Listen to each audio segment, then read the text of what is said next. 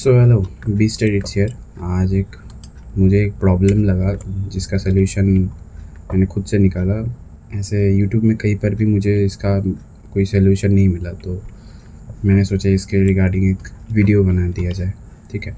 तो अगर हम लोग, अगर हम लोग ऐसे कोई थ्री डी लेयर लेते हैं तो उसका जो यहाँ पे टॉगल स्विच है ना टॉगल स्विच है, इसका यहाँ से देखो ब्लेंडिंग मोड जो होता है ब्लेंडिंग मोड मोड का ऑप्शन नहीं आ रहा है यहाँ पर, ठीक है? यहाँ पर ऑप्शन नहीं आ रहा। तो इसको कैसे ला सकते हैं, ठीक है? तो सिंपल कुछ नहीं करना, बस रेंडर में जाके यहाँ पे मिल जाएगा ऑप्शन देख सकते हो, यहाँ पे मिल जाएगा।